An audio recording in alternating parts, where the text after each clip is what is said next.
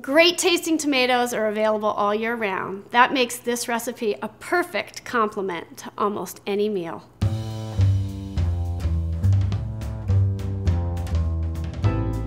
I like to serve these tasty tomatoes aside a grilled steak or atop spaghetti with homemade marinara sauce. They add that extra touch. Readers tell me all the time that as leftovers, they're great in omelets or a top homemade pizza. They're super easy to make, and I can't wait to show you how. I like to use small Roma tomatoes for this dish, so that when you add all the herbs and the garlic and the oil, every bite will be infused with that delicious flavoring. Take a 9 by 13 baking pan and spray it with nonstick cooking spray. You cut the Roma tomatoes horizontally and put them in the pan cut side up.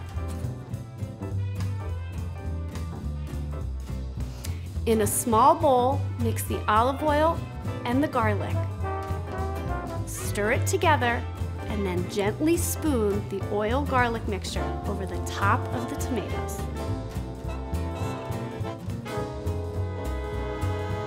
Drizzle the tomatoes with honey. That brings out all their sweetness.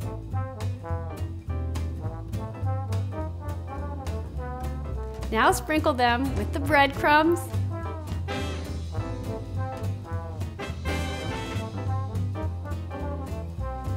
paprika, kosher salt and pepper, parsley,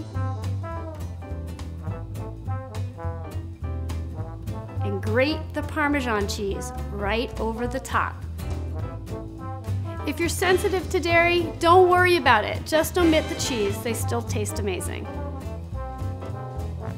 Now put them in your preheated oven for 20 to 25 minutes. When you take them out of the oven, you'll see the breadcrumbs lightly toasted on top.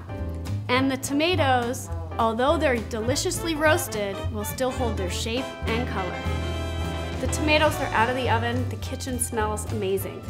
See the nice toasted breadcrumbs, the cheese and the garlic are all melted together. I'm gonna have one now and save the rest for pasta and marinara sauce. I love recipes that do double duty.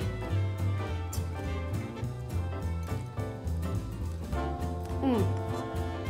Garlic, cheese, even taste the sweet honey. Really, really good. Let me know if you try them and how you like them. Did you add anything different?